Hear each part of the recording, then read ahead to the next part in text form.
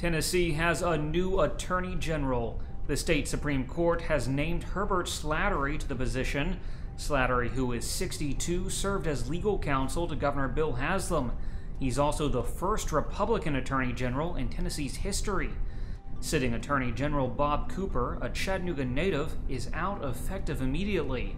The justices offered no explanation for why they chose Slatery over Cooper or what the vote count was.